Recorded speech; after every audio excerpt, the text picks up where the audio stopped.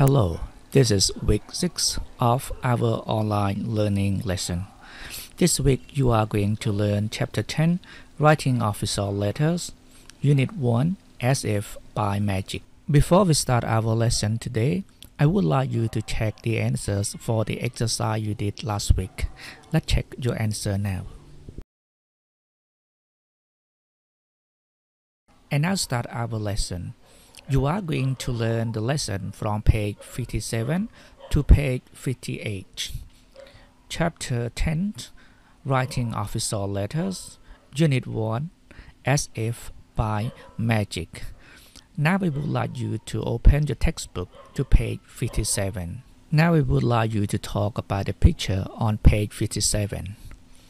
There are three questions that may help you to talk about the picture. You may add more questions to ask yourself and answer to yourself. Let's get started. You have five minutes. After you talk about the picture, you learn six words. The word article is noun, director is noun, discuss is verb, inform is verb, invitation is noun, roughly is adverb. Article, noun, a piece of writing on a particular subject in a newspaper or magazine or on the internet. A piece of writing គឺជាអត្ថបទឬក៏ការសរសេរ on a particular subject ក្នុងកាសែត or magazine ឬទស្សនាវដ្តី or on the internet ឬក៏នៅលើ internet Example, if you spot any mistakes in the article, just mark them with a pencil. If you spot ប្រសិនបើអ្នកមើលឃើញ any mistake កំហុសណាមួយ in the article នៅក្នុង article អត្ថបទ just mark them ត្រឹមតែធ្វើសញ្ញាទៅលើពួកវាហ្នឹង with a pencil ដោយប្រើខ្មៅដៃ director noun a manager of an organization company college etc ជាអ្នកចាត់ការនៅក្នុងអង្គការក្រុមហ៊ុន ឬក៏សកលលៈ Please see the example. She has become the director of the new information center នាងបានក្លាយ direct the director ក្លាយទៅជានាយក of the new information center នៅក្នុងមជ្ឈមណ្ឌលព័ត៌មានថ្មីមួយ discuss verb to talk about something with someone និយាយជជែក អំពីអ្វីមួយជាមួយនរណាម្នាក់ Example you should discuss this problem with your doctor អ្នកគួរតែ discuss ពិភាក្សា this problem បញ្ហានេះ with your doctor ជាមួយវេជ្ជបណ្ឌិតរបស់អ្នក Inform is verb to tell someone about something និយាយប្រាប់នរណាម្នាក់អំពីអ្វីមួយ Example she informed her tenants that she was raising the rent she informed នាងបានប្រាប់ឬក៏ជូនព័ត៌មាន her tenant ទៅកាន់អ្នកជួលផ្ទះឬក៏ជួលដីរបស់នាង that ថា she was raising the rent នាង បានដំឡើងថ្លៃជួល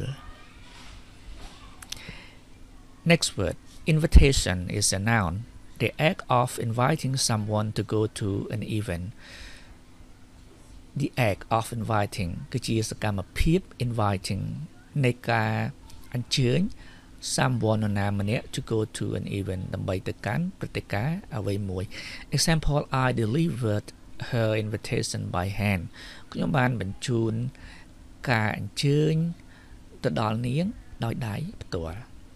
roughly adverb approximately ដែលមានន័យថាប្រហែល example the money I saved corresponds roughly to the amount I need for my course the money I saved លុយដែលខ្ញុំបានសន្សំ correspond ឆ្លើយតប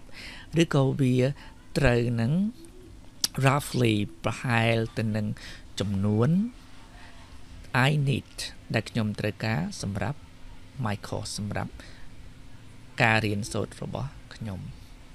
Okay that's all for the vocabulary Now I want you to read the statement from 1 to 6 in exercise A You have 2 minutes After reading the statement, now you listen. Let's get started.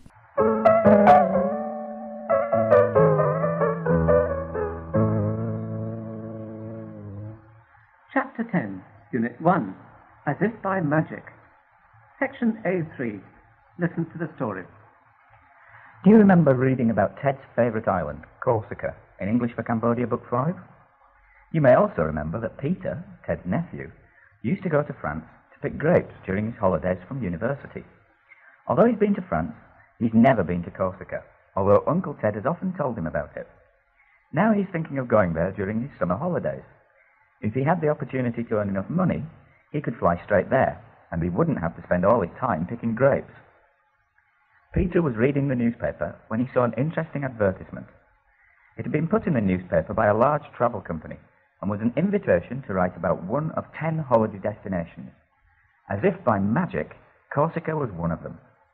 Applicants were invited to write the to the company's director, inform her about the place that they preferred, which aspects they would like to write about,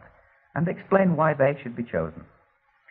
Thirty applicants would be invited for interview, out of which ten would be selected. Successful applicants would be given a free return air ticket and $100 for each article of roughly a thousand words written and published in the company's travel magazine, Adventure Holidays. Peter immediately phoned Uncle Ted, told him about the advertisement, and arranged to discuss it with him that evening. He then went round to his local library and found a couple of books about Corsica. As he walked round to Ted's house later that evening, he felt nervous as he wondered how he was going to write the letter to the company director.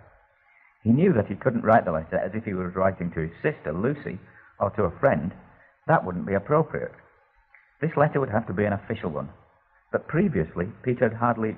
written any formal letters and didn't have much confidence in his ability to write one now. It certainly wouldn't be easy, especially as he would be competing against many others.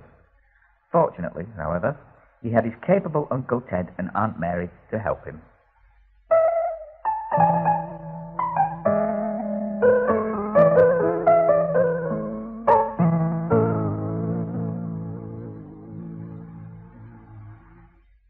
After listening, you have three minutes to fill in the gap to the statement from 1 to 6.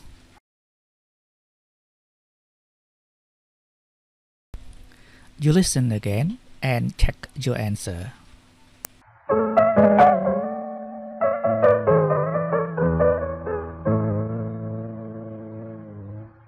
Chapter 10, Unit 1, As If by Magic. Section A3. Listen to the story. Do you remember reading about Ted's favourite island, Corsica, in English for Cambodia, Book 5?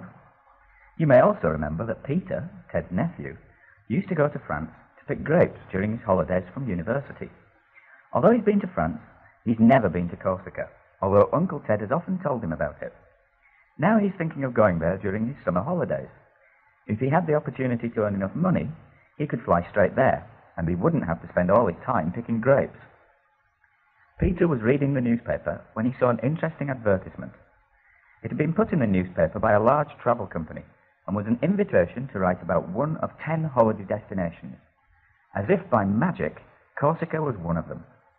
Applicants were invited to write the to the company's director, inform her about the place that they preferred, which aspects they would like to write about, and explain why they should be chosen. Thirty applicants would be invited for interview, out of which ten would be selected. Successful applicants would be given a free return air ticket and $100 for each article of roughly a thousand words written and published in the company's travel magazine, Adventure Holidays. Peter immediately phoned Uncle Ted, told him about the advertisement, and arranged to discuss it with him that evening. He then went round to his local library and found a couple of books about Corsica. As he walked round to Ted's house later that evening, he felt nervous as he wondered how he was going to write the letter to the company director. He knew that he couldn't write the letter as if he was writing to his sister, Lucy, or to a friend. That wouldn't be appropriate. This letter would have to be an official one. But previously, Peter had hardly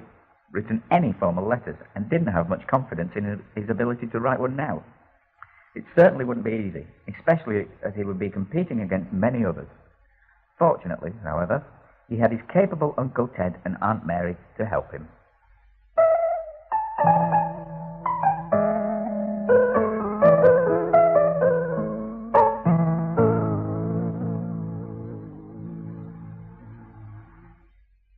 You are going to listen again. In this third listening, you are going to listen and you answer the question.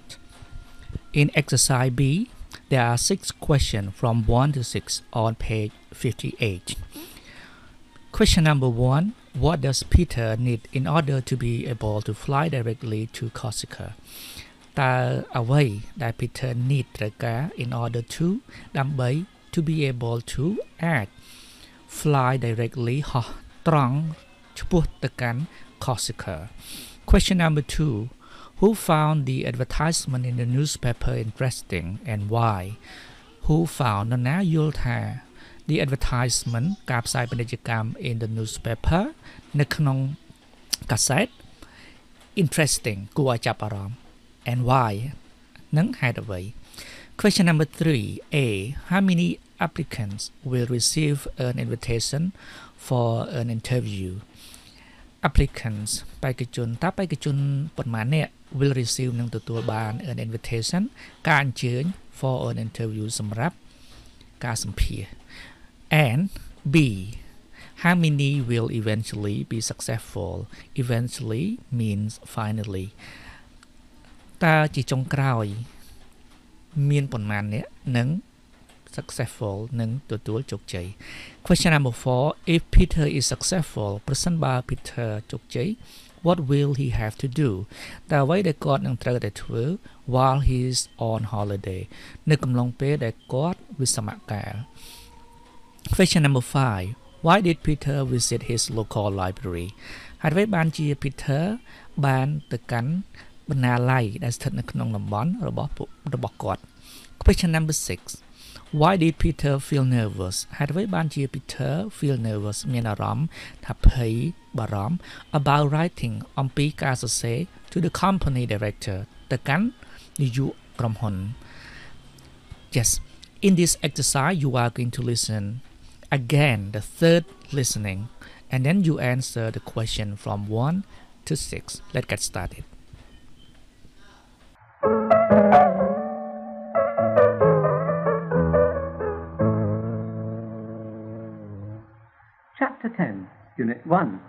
As If by Magic. Section A3, Listen to the story. Do you remember reading about Ted's favourite island, Corsica, in English for Cambodia Book 5? You may also remember that Peter, Ted's nephew, used to go to France to pick grapes during his holidays from university. Although he's been to France, he's never been to Corsica, although Uncle Ted has often told him about it. Now he's thinking of going there during his summer holidays. If he had the opportunity to earn enough money, he could fly straight there, and he wouldn't have to spend all his time picking grapes. Peter was reading the newspaper when he saw an interesting advertisement. It had been put in the newspaper by a large travel company and was an invitation to write about one of ten holiday destinations. As if by magic, Corsica was one of them. Applicants were invited to write the to the company's director, inform her about the place that they preferred, which aspects they would like to write about, and explain why they should be chosen. Thirty applicants would be invited for interview, out of which ten would be selected. Successful applicants would be given a free return air ticket and $100 for each article of roughly a thousand words written and published in the company's travel magazine Adventure Holidays. Peter immediately phoned Uncle Ted, told him about the advertisement, and arranged to discuss it with him that evening. He then went round to his local library and found a couple of books about Corsica. As he walked round to Ted's house later that evening, he felt nervous as he wondered how he was going to write the letter to the company director. He knew that he couldn't write the letter as if he was writing to his sister, Lucy, or to a friend. That wouldn't be appropriate. This letter would have to be an official one. But previously, Peter had hardly written any formal letters and didn't have much confidence in his ability to write one now. It certainly wouldn't be easy, especially as he would be competing against many others. Fortunately, however, he had his capable Uncle Ted and Aunt Mary to help him.